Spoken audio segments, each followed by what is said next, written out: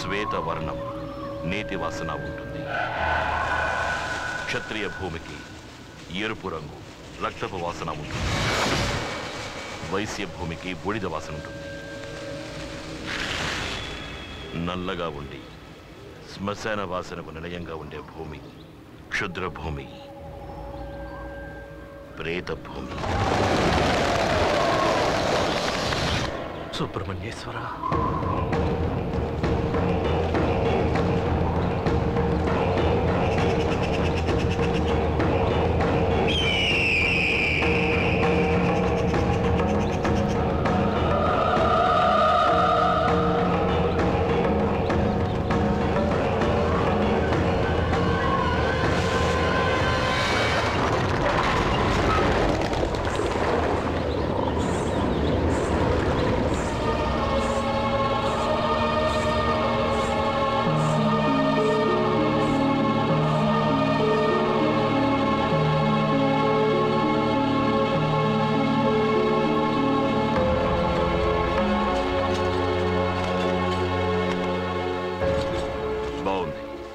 కాళహస్తి ఆచారి మట్టితోనూ చెక్కతోనూ కట్టిన కవిత లాంటిది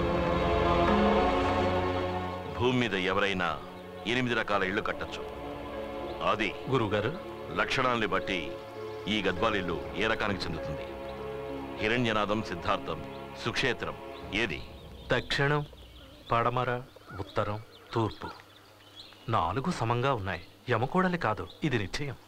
యమదైవతం మృత్యువుని మాత్రం ప్రసాదిస్తుంది. అమ్మ బాబోయ్.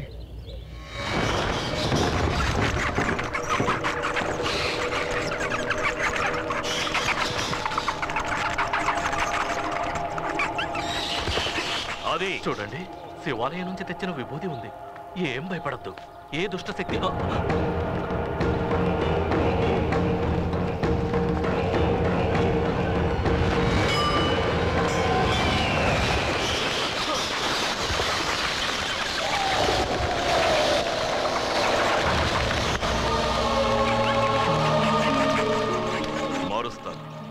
కట్టిన వాడి చేతిని ఈ ఇంటిని మార్పిస్తారు సంధ్య వేళకు ముందే కాళహస్తి ఆచార్య వంశంలోని వారొకరు రామవరం వస్తారు.